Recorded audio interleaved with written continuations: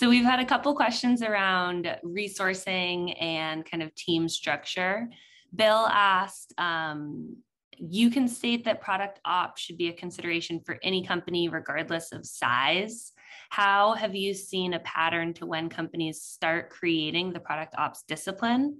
And then I'm also going to throw in there one from Arthur around um, what are some ways to determine when capacity, headcount, for example, needs to increase? So, like, is there a trigger of when to start? And then at what point do you expand and grow?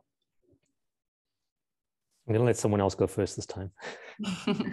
I mean, one thing I would just say here is I, I think this is related to the concept of just when we talk about resourcing, right? Like it's usually where our bet's going to be that we think is most valuable for us to focus on. So um, I think product ops is always going to be, I think, understaffed based on the duty that it has to perform in some way.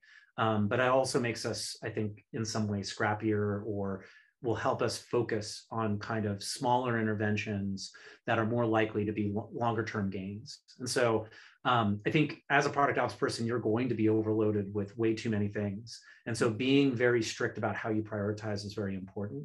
Um, I, I found it really hard to actually delegate um, things as a product ops person because I think for me as well, I like especially when it comes to enablement or opinions about like certain types of training. Um, I think we need I, I, need to do personally a better job of delegating some of that stuff um, personally. So I think maybe that's more like my own issue, right? When it comes to the way I want these types of things to work. But I think it is it is really really valuable that if you embrace this idea of an experimentation mindset adding more people that are willing to experiment in more cases is probably very valuable. The problem is, is that like when does churn from an experimentation standpoint become overburdensome for your product organization?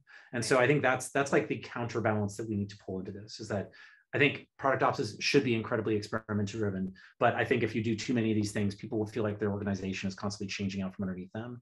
Um, so I think it's like, yeah, it's it's a really tough one. I, I I definitely would love to hear what the other what, what everybody else thinks too. But that that's what the part that I've been struggling with is like it's okay to be overloaded because we just need to prioritize. I think is is the way that I think about it.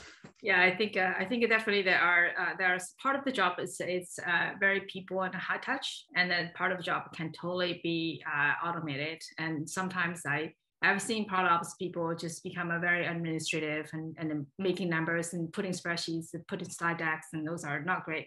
Uh, I have a, a, couple of examples of you know sort of the the resources that people know when. Uh, you know, the one of the company at work, uh, I was you know help them building the first product organization before I joined. There's no product managers, just engineers and and uh, yeah professional services project managers. And, and, and when we started building product uh, organization, we started to have like when you have a four, five, six product managers, then you know we're almost 80 20 rules 20% of the time starting to do things that can really be centralized to, to be something more efficient and, and automated or standardized and so on.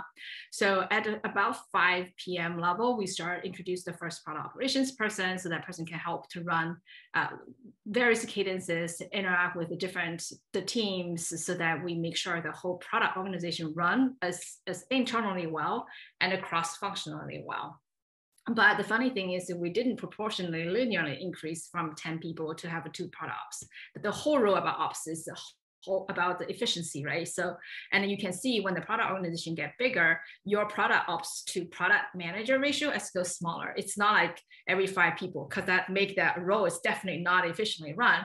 And, and that's really uh, some of them is to prioritize what you can do. And some of them is to finding the right owner. For example, if you say, hey, you know, product manager onboarding and training coaching that should go to, by the time you have a 20 product managers, you probably have an HR organization and a learning organization or some other partners to really outsource most of that. And for you so understanding where we are in terms of training where are where the pms the feelings about that and you can then drive programs being led by someone else. So it's very interesting to see there's a somewhat of an interesting ratio even at paypal we it's a big organization. I want to use PayPal because it's a bigger organization. I have a lot more data points to say over the years. What we're seeing is that the ratio of PMs to product ops is it just gets bigger. Uh, more PMs and less number of product ops. In the end, we have like three, four hundred PMs, and then we have like five product ops, right? And because there are a lot of other functions take on the roles, then that's more better suited for that function. And and that's that's a force force modifiers product product ops, right?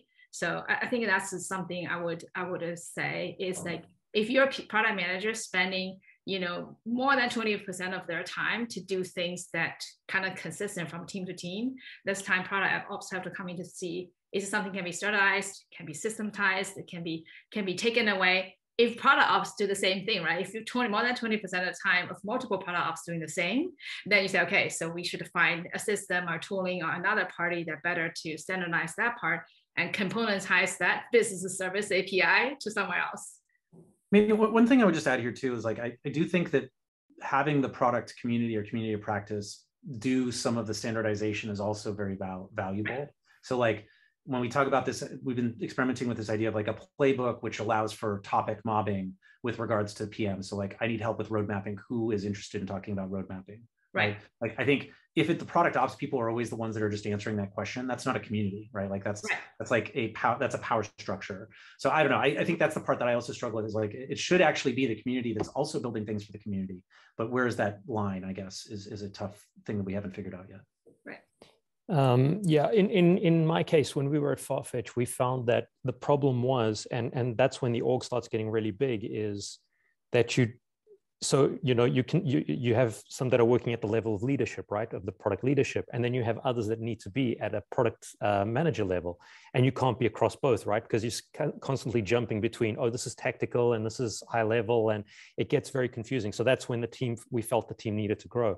Um, but for example the OutSystems team um, is a great example. What they did was they wanted to create a, a, training program for the pms right and they wanted to create this whole program to uh, build up the capabilities of the, the product management team and what they did was they hired a person who their focus is that, right? And so that's the thing. It's sometimes it's around um, identifying people for key moments or key things that need to be structured in there.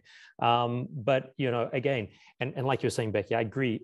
We do our ratio t- tends to um, you know start widening as we go but i think it, it's also normal because ideally if we're doing our product work properly um, right. you know, we should have less interventions, right? Exactly. So the underlying infrastructure should be there. The right. baseline should be there. We should right. actually make ourselves redundant, which exactly. I like to say, you know, we're, we're working yeah, to is. make ourselves redundant to, to a point. Um, you know, so, but, uh, you know, I, it's not an easy option because it depends on the team. It depends on the company. Like, for example, sometimes you'll go into a company and design ops isn't needed because the design teams does their ops really, really well but the product team is terrible at it. Then you know you need product ops, right? And vice versa. It'll all depend. There are teams that are doing it really, really well and they can squeeze it into their middle work. And then you'll find that other teams who are just losing control and, and they need someone to help them take control of things a bit. Um, yeah, so it, it you know, it, it does take it. You have to choose. You just have to choose which is the best option, I guess. Right. One of the things I want to add on to it is like, you know, we should also look at analogies. And the thing that I found out the most similar is the sales ops if you look at sales ops and the product ops, in many ways, very, very similar. Uh, how you know the ratios, the focus, and it's really evolving depending on the competencies, the system tooling in place, and and and you know the needs, um, you know, of the organization. So it's always good to find similarity in a different realm and and, and apply to our current practice, right?